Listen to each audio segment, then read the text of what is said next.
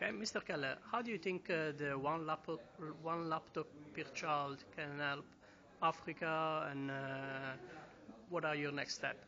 I think it can help uh, Africa and people in the developing world by getting technology into the hands of children that allows them to think through problems, to use computer technology in a way that fosters critical thinking, and in addition, which is a huge benefit, to be connected to the internet and to people worldwide, which has never happened before in remote parts of the world.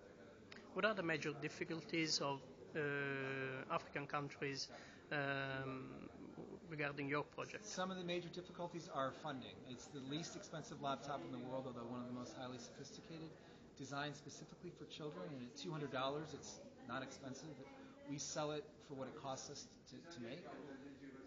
It's still too expensive. So we need to figure out how to get the price down further, how to get other countries and private sector institutions and individuals in wealthy countries to, to seed some projects in a substantial way so that over the long term governments will find that this is a, a priority, uh, a budgetary priority for them so they can commit to it. Infrastructure in some countries is a problem. Uh, connectivity is a challenge. But these are things that can be overcome. Right now, we need to get funding to get it down to, to really zero dollars. Okay, why an African uh, education ministry should buy one laptop each uh, computer? Because if you think about it, in the first instance, this is even if everything else fails, which it won't, but it's a library in a box. So all of a sudden, you've got children carrying around their own library 300, 400, who knows, 500 books. That's 300 or 400 or 500 more than they've ever had before. It allows them to think through problems, to think critically, to get connected to the world.